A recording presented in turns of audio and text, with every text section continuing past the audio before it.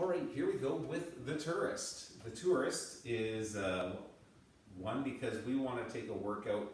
You're going to go out on a tour. You're running 400 meter run. Six, pardon me. Go step back. It's a 16 minute AMRAP. I'm going to put 16 minutes on the clock, and you are going to work steady for 16 minutes.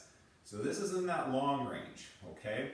So because of that, we want to be very careful with our pace because the workout is a 400 meter run and 20 burpees. That's it. So, and I hadn't been giving you burpees this week, so we had to make up for it on the last day, right? So, 20, probably 400 meter run, 20 burpees. You're probably going to be looking about five minutes per round.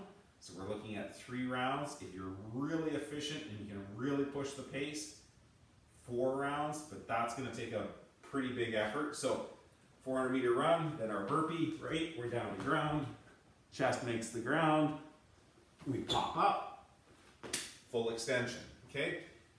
If we need to, we can always step those burpees out. We can step into those burpees, and we're here. The big goal here today, folks, try to get those three rounds in, okay? If you, it might push you uncomfortably. Uh, you decide where you can make up the best time. If you're better off to take a little longer on the run, so you can work through your burpees quicker, or if you know burpees are a slog for you and you can run a little faster, you decide. Three rounds plus, that's your goal.